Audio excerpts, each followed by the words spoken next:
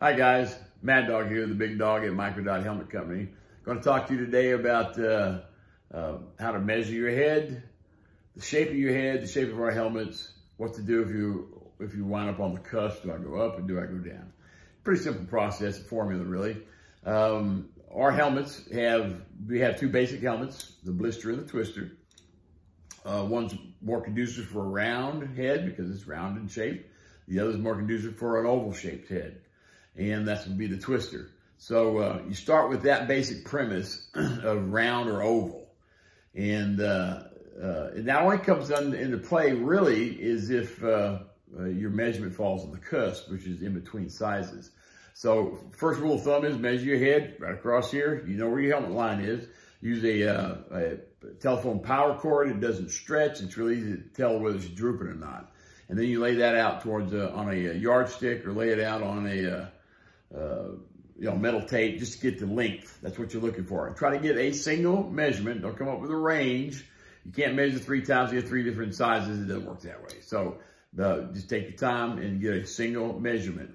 And if that measurement falls in the size range of the particular helmet that you're trying to buy, then order that size. For example, a medium is 22 and a quarter to 22 and three quarters inches, a half half inch range there. So if it falls within that, order a medium. Now, uh, a, a, large starts at 23 to 23 and a half, another half inch. And uh, if it falls there, order a large. But what happens if you have a 22 and 7 eighths, right in between the two sizes? Where's how you're going to break it down? Again, helmets have two basic shapes. You got a round helmet, got an oval helmet. Look at your head. Have somebody, if you can't tell, uh, your wife look from the top or somebody look at the top of your head and does it fall under more of an oval shape or more of a round shape?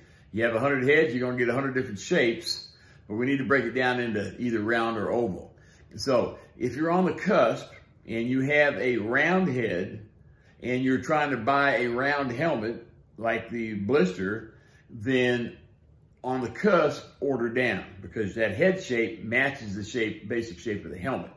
If, on the other hand, you have a, a oval shaped head, in other words, your head shape is kind of contrary to the basic shape of the helmet, in this instance, you're going to order up. Real simple. So if your head shape matches that of the, of the helmet you're trying to buy, order down. If it's contrary to the shape of the helmet you're trying to buy, order up. And that's going to give you a, a good rule of thumb on how to get the best fit in one of these helmets. You want them slightly snug, you don't want them tight. Tight will make your eyes pop out and give you a headache but you want a snug fit because these helmets will expand and take your head shape. It's made out of polystyrene, which is the same chemical makeup as a styrofoam cup. That's that inner lining that protects you. And the, the heat from your head and your body will cause that to take your head shape. Now, uh, another area of uh, confusion sometimes is if you were wanting to buy, if you're at uh, an oval head and you're buying a blister. What happens if you put an oval head in a round hole? Right? Okay, so you're going to have pressure front and back. You may even be able to slide a finger or two on the side because why? You're putting an oval shape into a round helmet.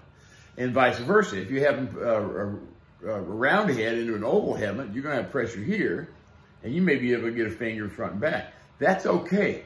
That doesn't mean it doesn't fit you. You can't go up or down based on that because that space is still going to be there. Why? Because you're putting a oval head in a round helmet. You can't mess with the geometry. So make sure it's comfortable. You want a slightly snug fit, don't want it tight.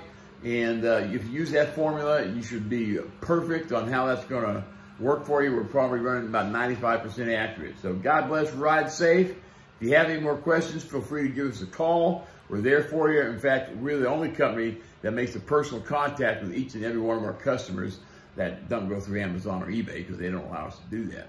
But if you uh, go through us, we will make a personal contact through email or even a phone call. We do, uh, uh, not email, uh, text, I apologize. We, we contact you through a text and try to find out what your actual head measurement is. So when we send it to you, we have a much better chance that it's going to fit you. We want to just basically agree with you that the size you ordered is the best size for you. If not, we're going to tell you, and it's your call, right? God bless, ride safe, keep your distance, See you next time.